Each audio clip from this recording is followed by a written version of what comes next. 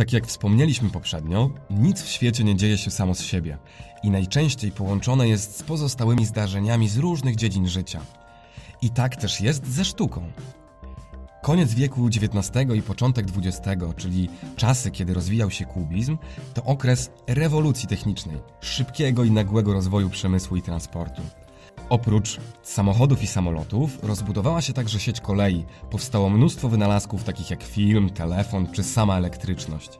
Świat rozpędzał się i przekształcał tak szybko jak nigdy wcześniej. Ludzie dostali bzika na punkcie nauki i techniki i wszyscy myśleli, że od teraz nic już człowieka nie pokona i nic nie stoi na przeszkodzie, żeby zdobyć świat.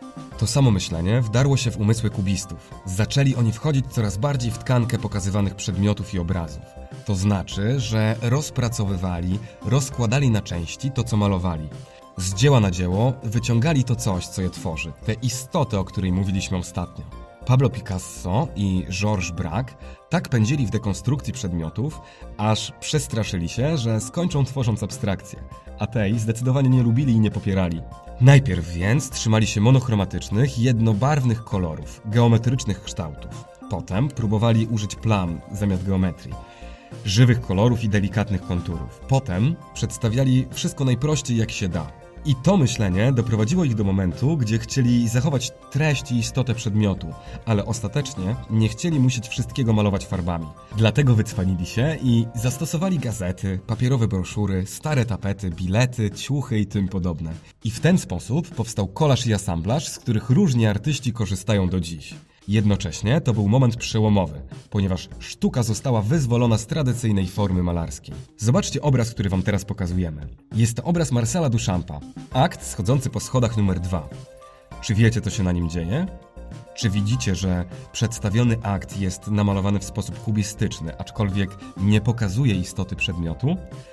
Pokazuje człowieka schodzącego po schodach, pokazuje ruch i dlatego został przez kubistów odrzucony.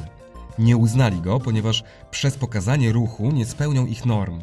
Były z kolei to założenia nowego kierunku, który nazywa się futuryzm. Futuryzm powstał we Włoszech i pochodzi od włoskiego słowa futuro, co oznacza przyszłość. Zaczął się trochę inaczej w porównaniu do poprzedników. Zamiast być efektem pracy malarzy, został szybko i sprawnie sformułowany przez włoskiego pisarza Filippo Tommaso Marinetti, który opublikował w 1909 roku ideę, czyli plan, taki zbiór zasad futurystycznych, które świetnie podsumowuje jej czwarty punkt, czyli zdanie.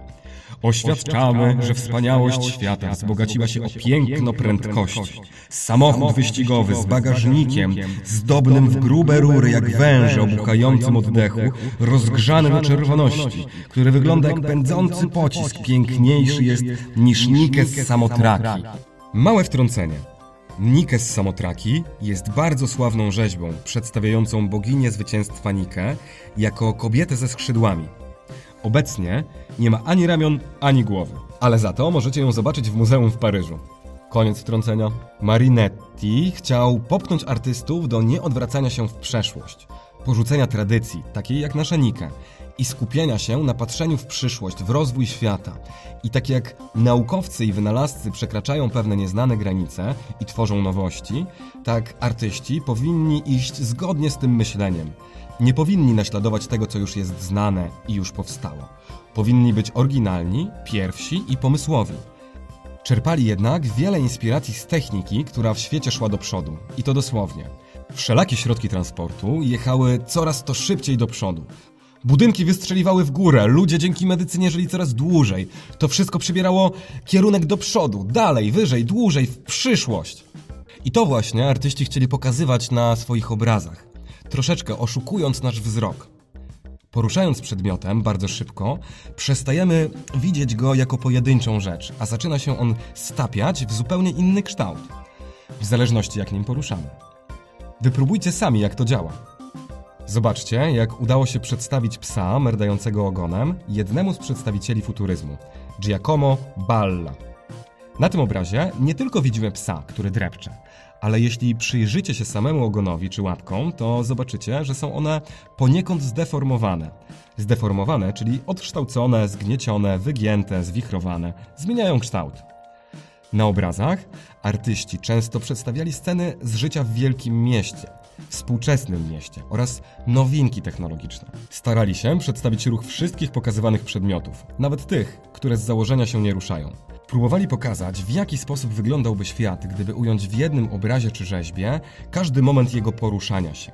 Pomyślcie, jak zdeformowane byłoby to, co widzimy na co dzień. Spróbujmy to trochę odtworzyć. Weźcie kartkę, ale nie mniejszą niż A3, mazak, farbę, pędzel i wydruk lub narysowane na grubszej kartce auto. Samochód wycinamy, przystawiamy do kartki A3 po lewej stronie i odrysowujemy mazakiem na kartce. Po odrysowaniu przesuwamy obrazek odrobinę w prawo, a następnie znów odrysowujemy. I tak, dopóki nie wyjedziemy z kartki.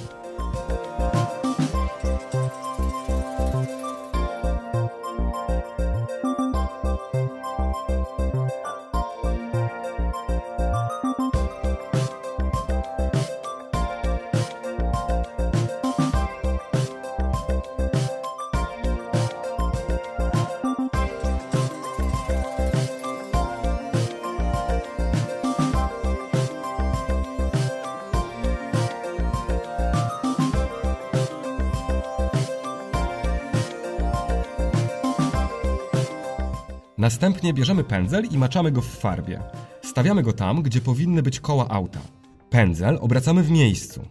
W prawo, czyli zgodnie ze wskazówkami zegara. Następnie kolejne koło i kolejne, i kolejne.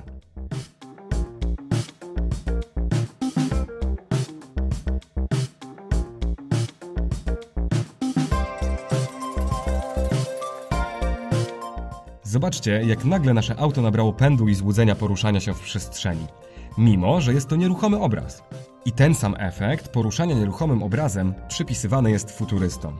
Zanim przejdziemy do głównego warsztatu, musimy jeszcze Wam powiedzieć, że futuryści nie byli tylko artystami skupionymi i zajmującymi się samym tworzeniem. Byli również bardzo stanowczy w tym, co myśleli i uważali odnośnie sztuki i świata. Wykrzykiwali hasła nakłaniające do odwrócenia się i zapomnienia o dawnej sztuce i historii, zrezygnowania z muzeów i bibliotek. Chcieli totalnie odciąć się od wszystkiego, co powstało do ich czasów i zacząć na nowo. Wcielali w życie to, co możecie zobaczyć w ich sztuce. Ruch, patrzenie w przód, w przyszłość, a nie za siebie. I my także, patrząc w przyszłość, stworzymy obraz futurystyczny. Wyobraźcie sobie teraz swoje miasto przyszłości. Czym się poruszacie? Jakie są ozdoby w waszym mieście? Fontanny, rzeźby, może murale? Macie? No to zaczynamy. Postępujcie zgodnie z instrukcjami na filmie względem naszej podstawy. Jednak, aby stworzyć pozostałe elementy, puśćcie wodze fantazji. To, co pokazujemy, to tylko nasza propozycja.